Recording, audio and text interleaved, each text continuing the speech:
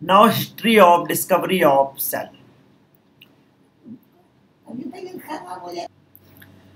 So today I discuss history of discovery of cell. So the scientist Robert Robert Hooke was the first to discover cell.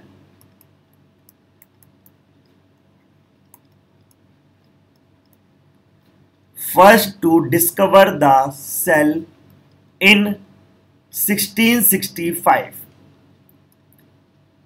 The second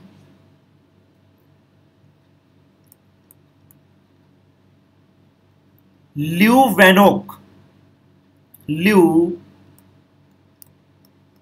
Van Hoek is the first to discover free living cell. Free living cells in pond water. In pond water 1674. Now the third age Robert Brown.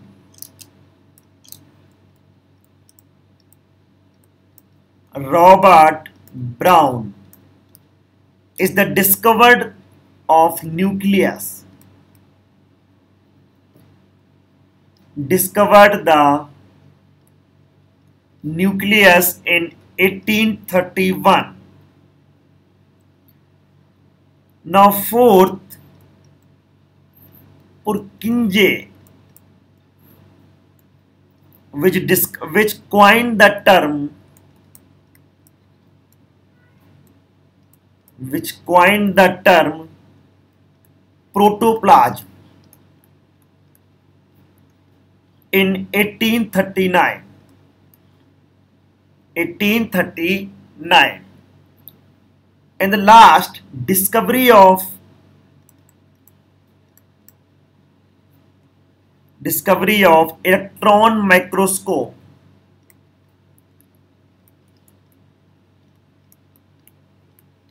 Microscope in 1940 made it possibly to the study the structure of cell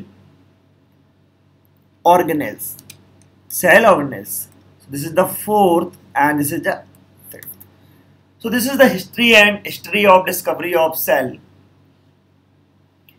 Now what is the difference between animal cells and plant cells?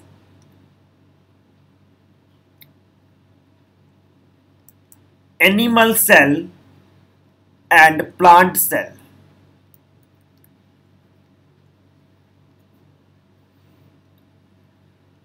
The first difference is between animal cell and plant cell is cell wall cell wall absent in animal cell and present in plant cell. Next, plastids. Plastids also absent in animal cell and present in plant cell. And the last third, vacuoles age are much smaller.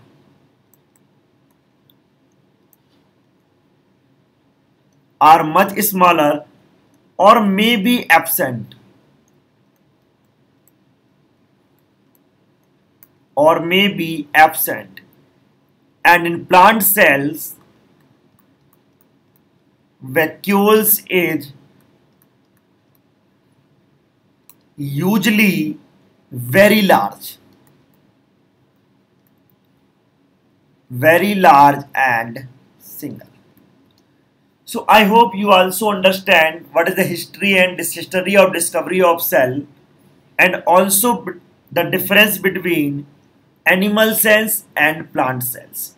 So please download the Scholar Learning app and if you already download this then enjoy learning. Thanks to watching this video.